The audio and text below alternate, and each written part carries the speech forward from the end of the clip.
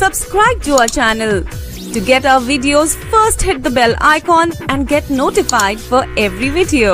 Hello friends मेरा नाम भावना है आज हम आपके लिए एक हज़ार लीटर की बल्क मिल्क कूलर मशीन लाए हैं जो आपके मिल्क को तीन घंटे में ठंडा कर देगी आइए मशीन के बारे में आपको बारीकी से बताते हैं इनके लिए इसका टॉप कवर भी है और इसके साथ में ये मिल्क पंप लगा हुआ है और ये फ़िल्टर लगा हुआ है ऑनलाइन यहाँ पे ये बटरफ्लाई वाल दिया गया है।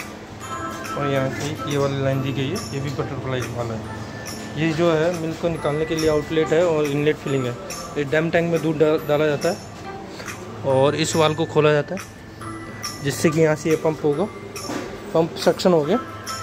ये वाल तब बंद रहेगा। इधर से आपका ये मिल्क आएगा। मिल्क आने के बाद ये पंप से अभी जो है, ये वाल ऐसे रहेगा। तो ये वाला जो इसमें वाल दूध आएगा और यहाँ से डीप होएगा। अगर हमें इसी दूध को बाहर लेना है तो उसके लिए हमें इस वाल को बंद कर देंगे और इस वाल को खोल लेंगे।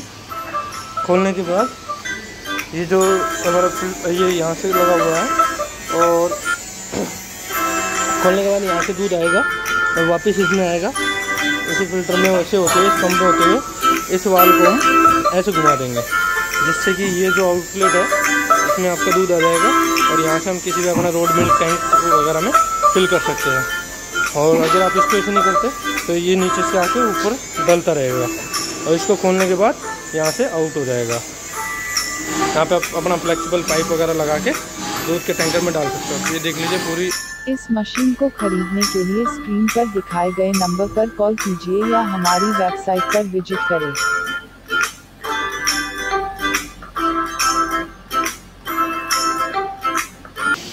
देख लीजिए।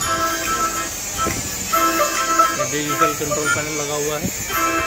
पीछे इंडिकेटर है। फिर जो सीलिंग यूनिट है, हम इसी में जल्दी देते हैं। बैक साइड में। ये एक नंबर पे, इसमें जो एक नंबर है, वहाँ पे हमारा क्या नाम है डिजिटल कंट्रोल पैनल से ऑपरेट होता है, और दो नंबर पे मैनुअल यहाँ पे भी सब ज़ीरो अगर वो पैनल ख़राब हो जाता है तो यहाँ से हमारा ऑपरेट हो जाएगा। और ये पूरा सिंगल फेस है।